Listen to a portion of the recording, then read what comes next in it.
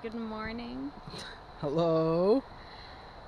We're, Please go. We're um, in a very special part of Vermont yes. on the section of the Appalachian Trail that we stopped by right after our little mini moon after our wedding.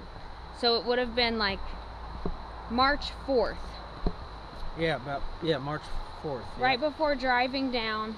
We left the Pitcher Inn in uh, Warren, Vermont. Wow.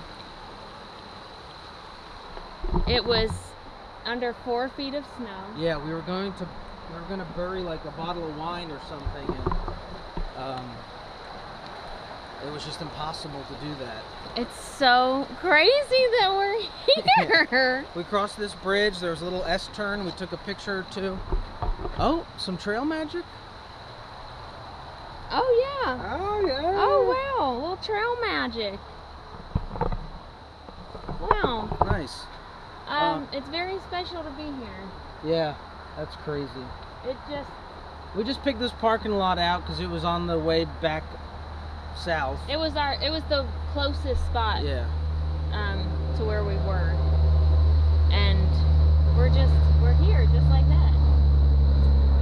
We thought we'd be here in June. I remember some of these signs up here. It was Yeah. so snowy. Like every step, our feet went went deep into the snow. Oh, yeah. So we didn't go in very far, but we just wanted And to the like car got stuck. we just wanted to see the trail up here Yeah. While we could. It's very special. Uh, we we're heading to the Killington post office to pick up a resupply box. We leave the long trail in a little bit, Yeah, split uh, off in like it. a mile or two. yeah, very close.